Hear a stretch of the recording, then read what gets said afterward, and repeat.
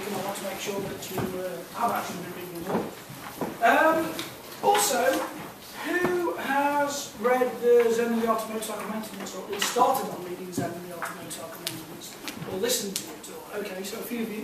Uh, other people should really do that, especially I've just set the exam uh, last week, so maybe not. Okay, so I'm going to skip through a lot of this because I want to get these first two lectures that we that um, sort of out of the way within the fir this first lecture. We've got a lot to get through today and next week. And there'll be some extra time, obviously, at the um, gallery as well. Now, the gallery session. Um, I'll speak with you a little bit more about that in a couple of weeks, but hopefully everybody will attend. I know that there's not, there's supposed to be 56 people in this course, and there's obviously not 56 people in this lecture theatre, so uh, we'll just have to hope that everybody decides to uh, go. Okay, so there's this QR code that tells you about week three, but you've already seen that, so that's okay. I'm going to do pop quiz. Um, so why am I talking to you about development? So you've read this, and you can read this. What's the most important thing on this slide, do you think? What, from your reading of the, of the notes, why do I care? Why should you, as user experience professionals, care about this? Care about development? Anybody? Yes? Because the underlying um, software engineering techniques will drive the user experience. So the underlying software engineering techniques will drive, will drive the user experience. That's very good, that's true. Any more? Yes? Yeah, I was just going to say because we're part of it. But because, We're a part of it. yes, we're a part of it, that's true, that's good, yeah. Any more? Yes? It needs to be involved in the development process rather than just Yes, we need to be involved in the development process as opposed to just this separate bolt-on which can often occur. One of the most important things is this, is that creative software engineers create um, beautiful code, but they also create good user experience because they've got creative ideas for how the background processing should go. They're able to abstract away from that, from maybe, maybe they're not so worried about the interface directly, but they can certainly do a better job of abstracting or removing a lot of the complications of bad software and remove those complications into good software such that the user doesn't have to even experience um, such a complicated interactive scenario. Okay, so that's one of the major reasons why you need the software engineers on the side, and two, you need good software engineers. And if you're the software engineer, you need to be good. Okay, you need to be writing good code. So who believes me that the code is beautiful, or can be, or a bag of spanners? That's technical term, bag of spanners. Well, you should do. And if, I, and if you don't believe me, all those people who don't believe me should be reading this book called Beautiful Code. Okay, so that's the kind of thing that you need to be reading if you don't know what I'm saying. Okay, so code has lots of beauty inherent in it, and it's obvious to see. Okay, specifically for good for people who can already code well. That's why often open source stuff runs very well because it's got a lot of peer review in it, and that peer review um, encourages people to make their code beautiful. Okay? I'm not going to, I'm going to skip over this. This is just a, a kind of a very simple bubble from a guy called Stephen Whittaker, who's uh, quite a famous guy in uh, uh, human computer interaction user experience. But we're going to get rid of, we're going to skip over that. I'm expecting you've already read that. Um, methodologies I expect you already know. So, who knows anything about cowboy coding? Okay, yes, that's what we like. So, two, yeah, cowboy codes. Okay, so, the thing about cowboy coding is that it's good for user experience, it's good for lots of stuff. It's good for user experience when you have no idea what it is you're going to be developing. When you've got no time span, when you really don't know, when you can have a really good creative experience. And that's why it's often used at these things called skunkworks. R&D s- or skunkworks. Do you know what skunkworks are? Yeah? No? Yes? Okay, I'll say yes, unless somebody wants to tell me differently. So if you're going to be sort of where there's no fixed plan, where that, where really you're just trying to get ideas about what could be developed, what what the user experience should be, what kind of things people should be, be um, interacting with, then um, this is the kind of work. This is a, this is a good way to work. Um, it's not good for everything, though, obviously. So, who knows, who's heard of Pioneer Studios? So Pioneer Studios was Microsoft's um, skunkworks, okay, way out of Seattle, um, nowhere near their main campus, Microsoft's main campus, and it was where you got the Xbox from. The Xbox was created, um, or the, or the primary stuff was created there at, um, uh, at their uh, Pioneer Studios, which, is, uh, which was a skunkworks uh, operation. So was one of their um, tablets called Courier. So have you heard of Courier Tablet? Okay, so you probably haven't heard of because it was canned by Microsoft uh, higher ups.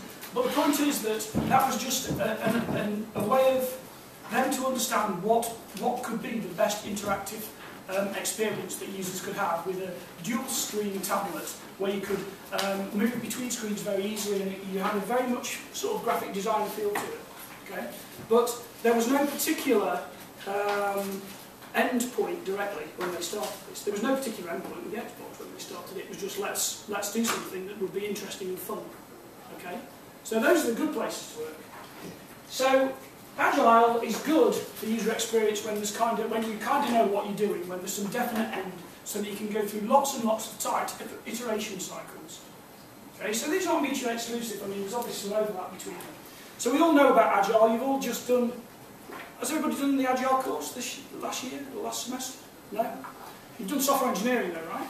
In the second year, yeah. Okay, and that had a lot of Agile in it, did it? Yes. Ish, sort of, kind of. Okay. Well, Agile in the notes. Obviously, there's these four um, principles for Agile development. Um, now, obviously, the Agile, was kind of first um, discussed back, what, 2002, I think it was, 2001, at um, Snowbird in Utah, where you got a number of uh, sort of uh, software engineer luminaries getting together and writing down what they thought software engineering should be about.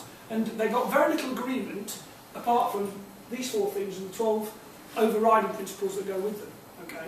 So these four things, individuals and interactions over processes and tools. Now this thing here is right for user experience, quite obvious, because it's about, it's about people. Straight out, it's about what is the people, what's their expectation. Um, working software. So this is kind of this iterative prototyping which we do in user experience. Okay? Customer collaboration. So this is about collaborative design, participatory design, which we're going to be looking at a little bit later on. So this kind of thing here is better than just contract negotiation, is what they're saying. And respond to change over following a plan. Well, of course, that's great for our kind of work because we need to respond to change a lot. How many companies do you know, do you think, actually do this agile scenario? Yeah? I'm sure a lot would claim that they do, but it's, uh, Agile's mostly about taking what works, kind of does, but I don't know what companies will just use a set list of processes and hope that they'll never software again, but that's not really how it works. Yes. Okay. That's that's very good. Very good. Any other ideas? Yeah. I think a lot of companies will be trying to bring it in, um, and obviously moving away from old methodology is going to take time, especially if they've got some like evangelists who like refuse to move from their more rigid methodologies. That's So I think they'd at least have at least one team in, in a big company, Yeah. if not more, who are starting to introduce that.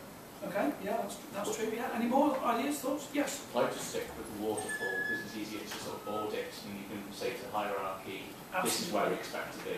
That's one of the main things. People like to say we're doing agile, blah blah blah. But who's doing management in here as well? Okay. So those of you doing management in here as well. The problem with the problem sometimes managers get into is that they like to see things in a nice audit trail with definite steps and completion points and completion times. And agile doesn't fit that. It's quite because it's so flexible. It's very difficult to put it into that kind of box. Okay. So even though it's good for software engineering, the managers who are, saying, well, we want this kind of outcomes, we want these kind of contracts, we want these endpoints, so we know it's definitely done. Often sometimes don't realise that it isn't definitely done. It's a constant process of iteration. And so the problem that manager, people who do management here if you at B, or any of you who do technical management at all, need to realise is that not just now but in the future, you need to be real, responding to the change which is real in the software engineering process and not fake, which is things that make you feel better about how the software is being developed, but actually doesn't say anything about what software really is being developed. Okay? There's a, there's a subtle differentiation between those two points. So it's absolutely right. It's, it's about, um, you know, you, can't put Agile on a Gantt chart very easily. Okay? It's just one big line. You know, iterative development. Yeah? So that's the problem. Okay. I'm not going to go through these, but we all know things like model, model view controller, do we? Yeah? Service oriented architectures. Okay? So these things allow us to have this thing called the separation of concerns. Now, separation of concerns is bit large in user experience, not just in development, but in all the testing that you can do. Who knows anything about um, blind trials? Double blind trials, triple blind trials. So all these trials are to do with the separation of concern.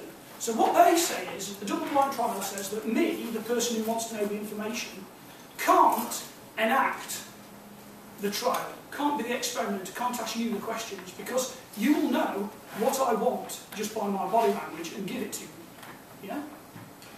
Triple blind means that, that the person who's gathering the data can't be the person who wants the data, and it also means that the person who's doing the data analysis also can't be the person who wants the data or knows what the correct answer is. Because well, the answer they want is. Yeah? And the reason why that is is because we can manipulate the statistical process, we can manipulate the analysis process to kind of come out with the answers we want, if we really want them enough. Okay? Even if we think we don't. So the idea of these separation of concerns through all of user experience, and not just user experience, all most human factors, so it's the same with clinical trials for drugs, it's the same with stuff for um, psychological trials, okay, all this kind of stuff, you can have this separation of concerns, which is really important. And it's important in the software engineering process, and that's why we've got model view control and service um, uh, or, uh, oriented architectures. Okay? Okay, we're not going to bother about, about those. Separation types. So these ones are maybe not explicitly covered directly in the, uh, in the notes, certainly the bottom two I don't think are. So we know about remote procedure calls and we know about RESTful interfaces, do we? yeah?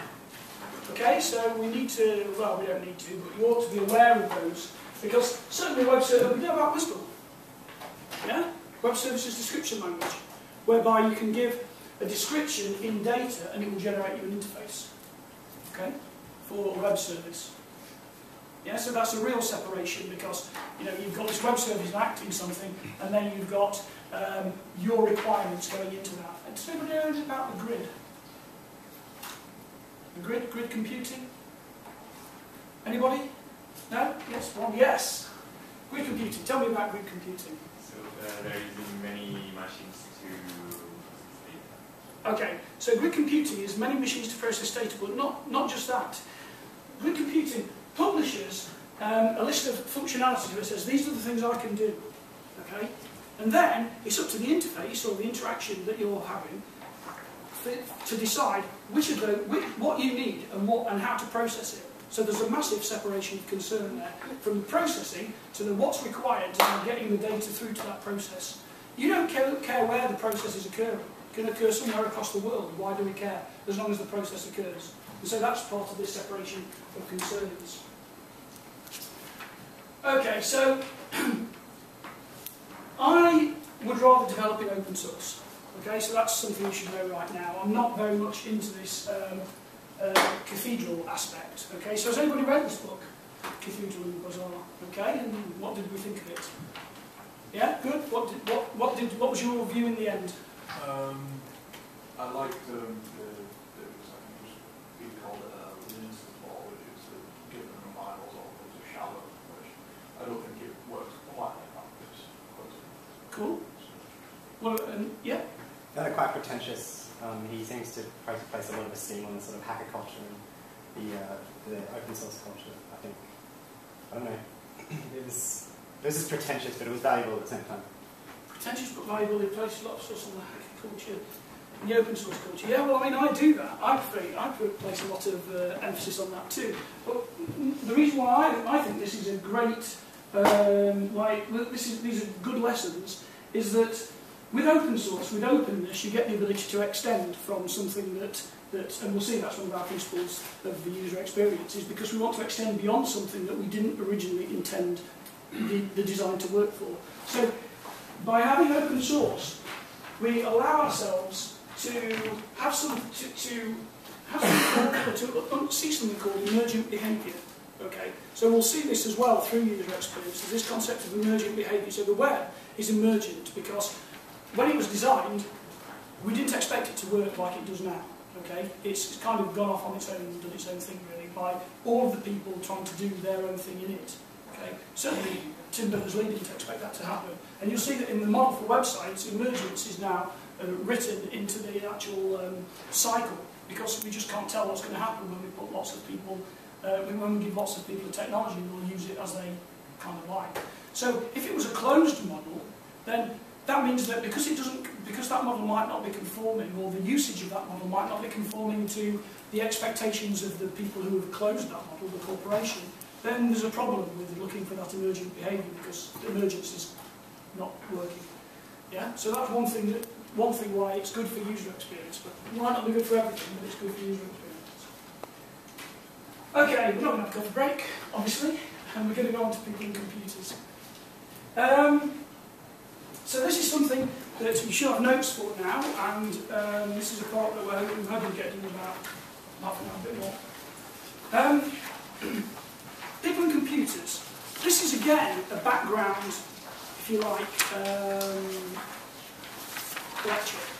So it's about, so this is more about letting you understand that there's lots and lots of different needs and abilities out there.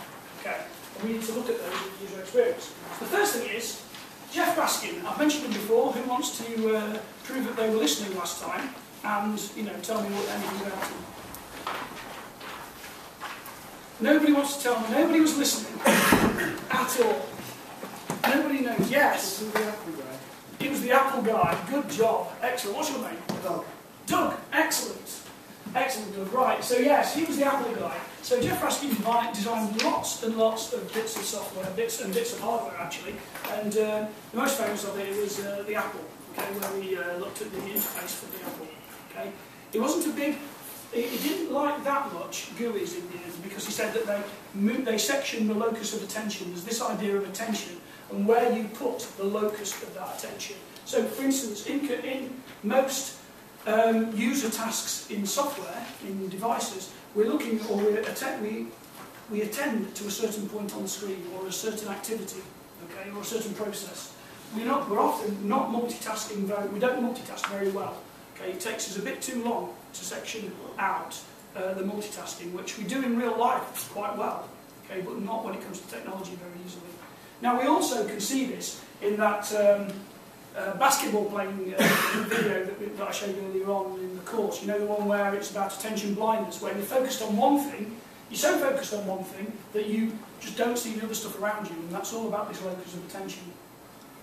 We also did some other work, we did some work here actually, which looked at automatic updates on websites. Okay, so you know the JavaScript kind of uh, Ajax updates whereby you do something and little things pop up, uh, little coloured widgets or, little coloured uh, notifications pop up as you're, as you're doing things.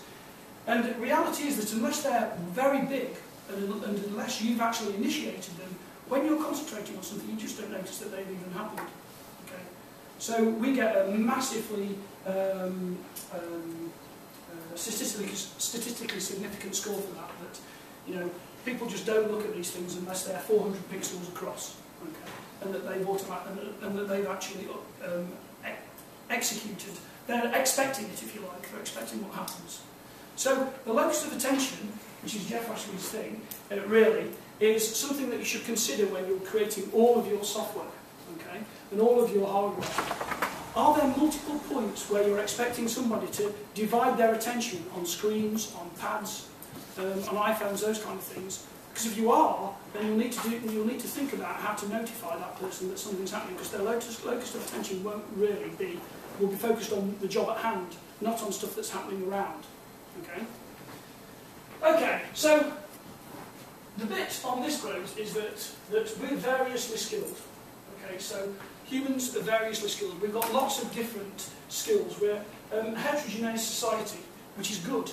Because otherwise, if we were all one, if we were all the same, then we'd all be dead by now, I imagine. Okay, because we wouldn't be able to survive very long. Yeah. So the, the great benefit is that it's heterogene uh, heterogeneous. Okay. So that, but that also means that we're variously. So technology consists of an individual skill match matches up well with the requirements of the operating technology. So this is what we're trying to do. Your user experience work is all about making sure that the skills of the individual and what they what their skills are and what their um, um, natural abilities are match well to the software, okay, to the devices that you're creating. And that's very difficult because obviously you're creating one device for everybody, not, you know, you're not creating 400 devices for 400 different groups of people. Yeah? Okay. So, there are, two, oh, there are two components to this. Training the human to accommodate the needs of the technology and design the technology to meet the needs of the, of the human. Now, these things will occur. But the better we do the latter, the less we need of the former. So if we actually design the technology to meet the needs of the human, the human has, has to train less. There's always going to be some need for the human to actually train or be trained or to understand the device or to understand the technology, but you need to reduce that massively. Okay? So if you're thinking that you're going to create a software system and stick out a manual, a great big manual, you know, um, there's a, obviously a great big thing in uh, software engineering is our um, RTM, uh, RTFM. Yeah? You all know what that means? Yes? No? Read the effing manual. That's the response for most. Okay? Seriously, it's, Right. no one reads the manual. Yeah, no one reads the manual. Okay, nobody really does read the manual. But that was the that was the thing that we thought would occur. Okay, that we can you can create a great big manual with everything in it, and then hey, off it goes, and you just uh, you just understand how to drive the software by reading the manual on the device. And we can see that that's now shrunk, shrunk down massively. But still, there's a need for training. That's why there's lots of training courses in computers, okay, and devices, and how to use your iPad. And the missing iPad book. I don't know why there would be a missing iPad book, but there is one that somebody's written involving things that you wouldn't normally realise. What I'm trying to get across is that you need to think about these. Is it something that you know that seems obvious to you when you build your software, but isn't obvious to somebody who's not skilled at this software because they're just buying this as a piece of consumer, uh, a consumer device, say, okay? Or a piece of or a piece of consumer software that they're not interested in, um, you know, reading a manual or, or anything else. They just want it to work and they want it to work with as little hassle as possible. Yeah? So you've got to think about these things.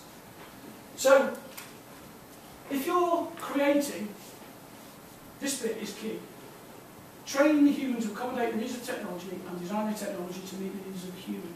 So, you need to really do a good design to meet the needs of the human and forget about the training. Yeah, because it's never going to happen.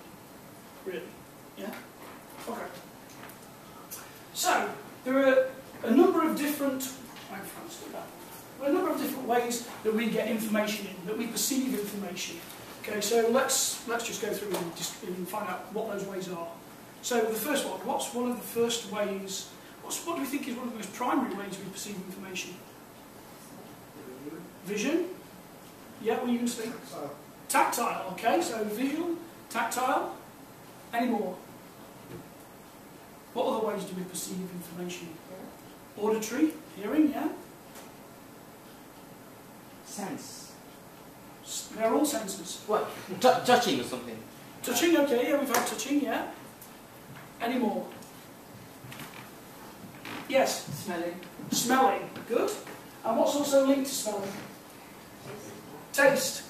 And do you think there's been interfaces built for all of those senses? Oh. Yes, there's been olfactory interfaces. There's tastes, but there's uh, interfaces for smell, interfaces for taste, interfaces, haptic interfaces for feedback and for touch, for gestures, there's uh, obviously uh, and obviously vision you know, feedback for all of those things. Okay? So, and input, come to that, as well as some others. Um, so when you think about your designs and your creations, you can't just think that your, the, the work you're going to be doing is always going to be in a nice open um, uh, operating system framework where you're going to be banging out code for Windows or uh, Mac or something else. What happens if you're employed by Boeing?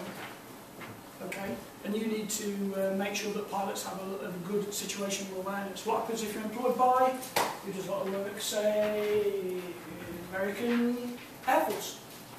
Lots of work done in the American Air Force on military interfaces. Okay? What happens if you're employed by, you know, um, one of these skunk works that wants you to think differently about how we can actually make the make interfaces better? Combinatorial input, maybe.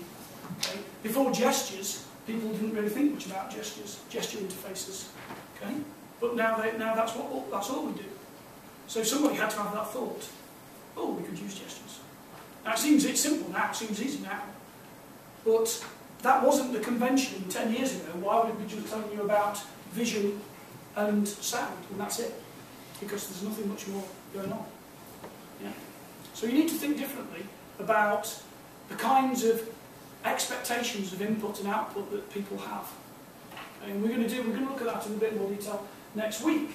Um, but for instance, how do you get input if you're, say, deaf blind? How do you make get input from a computer? How do you stick output? You know, that's a, that's something that, you, that that would be difficult to understand maybe. But similarly, what happens if you were in a fighter aircraft that uh, with um, lots of smoke in the cockpit? You don't have, you know, you, you might be deaf.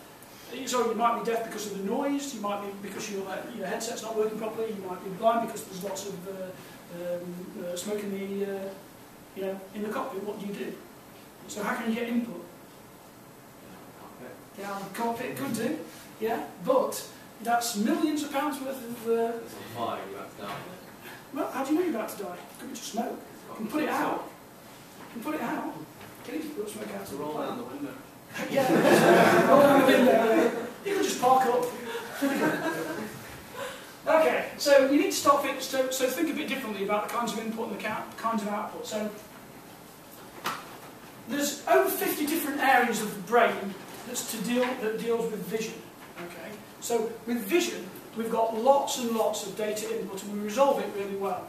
Okay, obviously, that's one of our key points. That's one of our key features. Obviously, we've got blind spots which are filled in by the eyes because we've obviously got the nerve bundle that goes back goes out at the back of the retina. So there's no uh, there's no cones, there's no um, um, sensory um, cells at that, where that nerve bundle goes out. Yet we still see. We don't see a big hole. Okay, that's because our brain processes the data and fills it in for us. Okay, so that's a blind spot that we have. Okay, so you can see here that it's an equal, it's an equal um, division between the eyes. Okay, so if you've got, if you haven't got, if you've got eye, if you've got eyesight um, that allow, if you've got one eyesight, then obviously you're not going to see quite the same. You also aren't going to have depth, depth perception. If you've got some kind of uh, macular degeneration, then you might only have peripheral vision. Okay? Um, or you might have tunnel vision, where you can only see a, a very small spot in front of you. Okay? Now these things, you might think, well, why are you telling me about these things? These things are like for you know, disabled people, whatever. Well, I'm telling you them because these, there's, very, there's lots of similarities between seeing a very small spot of an application or information on the front of a small mobile phone. It's very similar to tunnel vision. Can be. Okay? So that's why that there's applications in mainstream uh, computer science, okay, mainstream user experience. So that's the first thing. Now what we're looking at now is um, we've got we've got the inputs coming through the eyes here, and the eyes are actually joined right it's directly into the brain through the nerve bundle. So that's why that the updates are very fast. Okay, normally updates coming up the spine are actually quite slow. Okay, comparatively speaking. But the closer everything gets to your brain, obviously, the better it is, the faster it is. Now, there's, does anybody know actually of, of uh, the brain where the most direct connection is to the brain from your senses? No? No? Yeah? Is it your ears? No? No? Smell. Okay, you've got a direct nerve going straightly from your brain down into your uh, nose. Okay, and that's exactly what smells, and the mucus that's in your nose is there to protect specifically that those nerves. Okay, and to trans- transfer the actual data. Okay, transfer the the uh, um, molecules, the atoms. Okay. Okay. Let's move on. Hearing. So hearing is quite obvious, okay, it seems to us, that you've got these ears on the side of your, uh, each side of your head, and in comes the sound, okay? And by a, a sequence, uh, well actually it's a sequence of very small um, bones, three small bones, the anvil, the, the anvil, the hammer, and the stirrup, okay? Stirrup is the last one. So, um, so the stirrup looks like this, okay? And then you've got the anvil, which looks kind of like this, but not the anvil, the hammer. And then you've got the anvil as well, which is kind of a bizarre shaped bone. I can't, can't remember the shape of the anvil. Anyway, it's like a bizarre solid shaped bone looks a bit like an anvil, obviously. But this thing here, the stirrup, is important because it connects to the cochlea, okay, which is the bit where all the data, where, the, where you're going to sense the data, sense the sound. Now, why do you think that, that there are this set of bones doing the connection? Yes? So each individual bone has a different uh, frequency or different type of sound. No, it's not quite that. It- Getting there, but not quite. Any others? Yes? Do they mean um, vibrate with, um, with the sound that comes in? Yeah, so they vibrate with the sound that comes in the ear, but what they're to do is to cut out the very high noises and to amplify the very small noises. That's why you've got your hearing range of between 5 and 20 megahertz. Okay, so it's so that you don't destroy this bit, the sensitive bit. Okay, that's one of the main reasons why they're there. Now this thing here, the cochlea, is spun up. It's like, um, so cochlea, the cochlea is like this. Is going to look a bit wrong, okay. With a stirrup just here, okay. Now this is when it's been pulled out, extended. Normally it's a spiral, okay. But there's no point in saying that. So normally it's a spiral. So this thing here, which is called the basal membrane, is the thing that does the actual, um, has got the actual uh, nerve cells connected to it that go to your brain. Okay, and what happens is that all this is filled with fluid, and there's little hairs on this basal membrane, and these hairs, as the sound waves go this way, the hairs agitate, okay? And so the basal membrane looks like it has a base and an apex, and the high frequency sounds are detected here. Think of it as an oscilloscope. Low frequency sounds at the top. Yes, I think that's the way that's the right way okay. But they get they can get detected in parallel. Okay, and then the nerve bundles go off, okay, into the brain, into the auditory cortex, which is there specifically. Different parts of the auditory cortex process different different frequencies of sound, okay, so that you can hear in parallel. Now, the thing that's important for you, I'll just rule off this terribly, terribly. Oh. What would what would the head of school say? Um, so, the thing to think about for this is that it's not just about sound going into your, into your ears. When you put your headsets on, does that sound, does the sound coming out sound like, um, I don't know, speakers? Does the sound on your headset sound like freestanding speakers? No. Why not? What's missing? Space around, yeah, space around, yeah. Pardon? Noise, or the noise, that's true. Reflections. Reflections, yeah. What about for our heads? It's uh, uh, there's, uh, what about for our heads in general? Directionality. Directionality. So the, one of the main things that it also misses is that you can see you've got these direct sound paths and indirect sound paths, reflective sound paths, which you don't get on the headset because obviously it's mostly directed right into your ears. The other thing is bone sound. Okay, that's a big component of sound, bone sound. And so that's where the sound waves are hitting your head, okay, creating a vibration, and that adds in to your hearing, which gives you, which is called the bone sound. So therefore you can actually hear things in different levels of detail. You can do better spatial isolation, okay, because you're, you're not just picking up from your ears, you're picking up from the bone, the vibrations through your bone, and through your body, mostly through your head? But you can feel it through obviously your body. So these are the things to think about, that if you're trying to do something that's really good auditory, i i by audio, speak headsets, they're going to get you so far, but not that far. You might want to have some other kind of vibration system. Maybe we have a little vibration system that comes out onto the head from the headset okay, from, to, to aid better 3D spatialisation. Okay? That kind of thing. So these are the kind of things you need to think about. Okay, touch. So we've got touch, and there's also, um, with touch, we've also got other things called haptics, okay, haptic information feedback, okay, so we've got, so touch is about actually obviously understanding what touch is. Um, here, we can see that obviously you've got a probe that being stuck in, and you can obviously feel that. So this is because various nerve fiber, nerve cells are, um, are being deformed, okay. So the way that this works, at a small level, is that you have a nerve fibre, and in that you have what's called channels.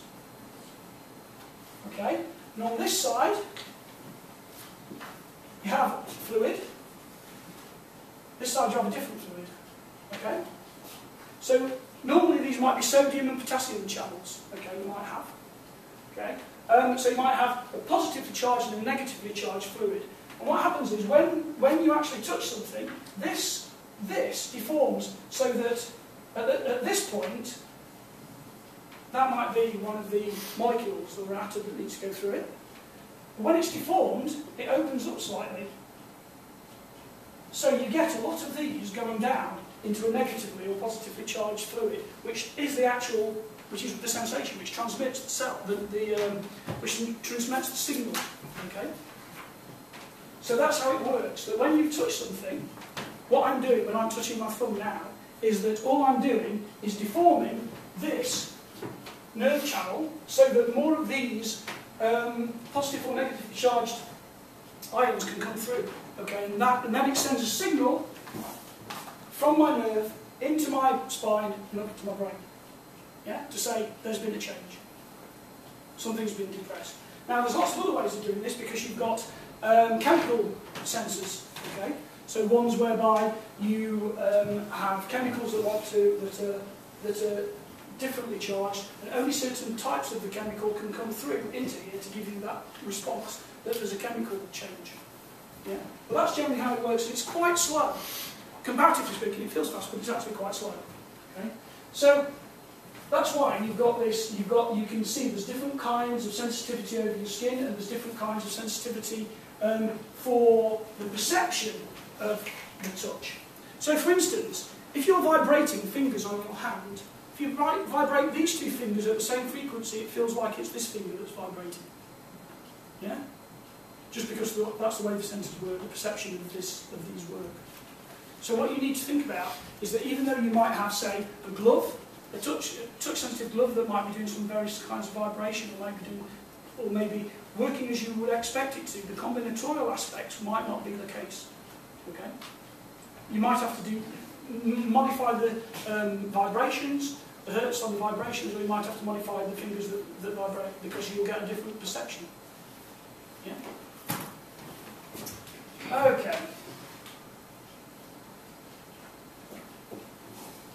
Um,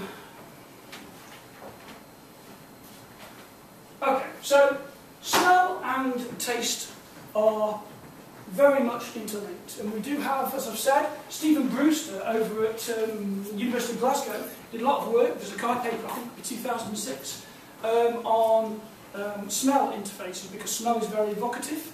Okay, so therefore he had smell interfaces whereby there was a smell associated with a certain kind of interactive activity that you were doing. Yeah, and so therefore, even then, just creating the smell allowed you to better execute that task because you can remember it better. Bizarrely. Okay? So, yes, How can you create a smell uh, within the system because it's a byproduct of a chemical reaction? That's right. And so what he had was, you know those, um, think of those, oh, horrible smelling things actually, those terrible um, kind of um, things that you stick into the plug and then it, uh, you know, has this smell that comes out of it, like, you know, blades of the forest or some, some crap, you know, uh, tulips or whatever, um, to make it air freshener kind of thing, but it's uh, done by heat. So what he did was he had a very fast heating coil, and he had lots of different of these chemical smells uh, in a long strip. And then whenever there was a certain interaction that he wanted to do, he used to send a charge to the, uh, to the heater. So it would heat, evaporate, you actually sense those molecules, chemically sense those molecules very quickly, and then you go, yes, I need to do this next. Yeah, that's how it, that's how it works. I mean, obviously, not common, it's a research product, you know, it's one of these schoolwork things, but it's, worth, it's interesting, it's worth thinking about that there are different ways of interacting, there are different ways we can take information in. Okay? Okay, thinking and learning. This is something we're going to consider in a bit more detail in the in um, three weeks' time, two weeks' time. So, with this one, uh, I'm going to skip over this one. Memory. So you can think of memory in two different ways. You can think of memory as um, short-term and long-term memory, whereby short-term memory um, is a bit like RAM, and long-term memory is a bit like ROM. Okay, so that's what we can think of, or a bit like not ROM, a bit like um, non-volatile storage. Yeah. Okay, so we, we're going to either stick it in memory where as soon as you stick it in short-term memory, where as soon as you think about something else, it goes away again, and you can't remember it that well. Um, or we're going to put it in long-term memory where we're going to write it to disk. Okay, non-volatile. Yeah, whereby we can do that again. And what, for us, we may be thinking about is this, procedural memory, skills and habits. These are the things that people do when they're doing interface, when they're looking at interaction engineering and interfaces. Okay, they're looking at the skills, the habits they can do, the, the, the actual different jobs that they can pick up. Okay? Not necessarily facts and events, kind of less. Okay? So it's this stuff.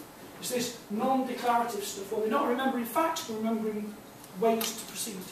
Yeah? So, one thing you will also see, which we may get to now, maybe, maybe later, is that um, when you close your eyes and you visualise something, the area of the brain, say for your visual cortex, lights up even though you're not seeing anything. Yeah? You're still using your visual cortex. When you're remembering a sound, listening to a sound, and you're remembering it, it still lights up the auditory cortex, even though we're not listening to anything directly. Okay, so that suggests to us, even though we don't know that much about the brain, uh, that suggests to us that there's some value, certainly from the user experience, in having some kind of way of allowing people to re-visualize before they start a task. Okay, so that if they can, if you can go through in your head certain tasks, certain interfaces, certain interactions, if they're easily, if you can easily bring them to mind, then it's more likely that you're able to do a better job because you can actually go through those procedures in your head without actually doing them. So therefore, a very complicated interface is very difficult to remember, very difficult to visualise, but a quite simplistic one is a lot easier to visualise. Yeah? And so gives you this kind of learning where you're not even actually there. Gives you uh, an idea of what you'll be expected to do before you actually get to do the task. Okay? And this is all about this procedural memory, skills and habits. Okay? Now, um,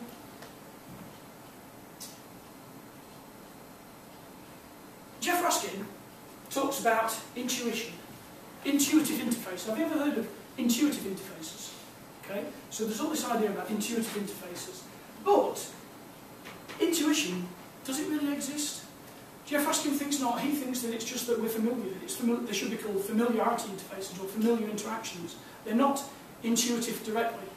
So what you need, to, what you should also think about is when you're building this kind of stuff, certainly for this memory, is it intuitive really, or is it really just something that's about familiarity with an action, familiarity with something? So you might say that Bing interface, the Bing interface is intuitive because it looks exactly like Google, very similar to Google. Yeah, yeah. That sounds like small children picking up um, a modern smartphone, like an iPhone, seem to be able to do it very quickly, even if they're not particularly well versed on a PC.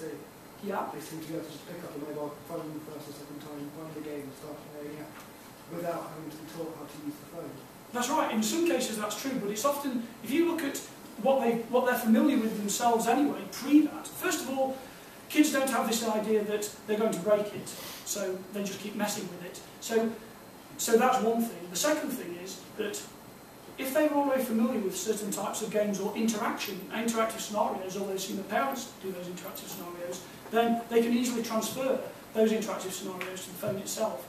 So the intuition of it, yes, Maybe it's like the fact that it's kind of intuition is more like something that develops from uh, becoming familiar with something.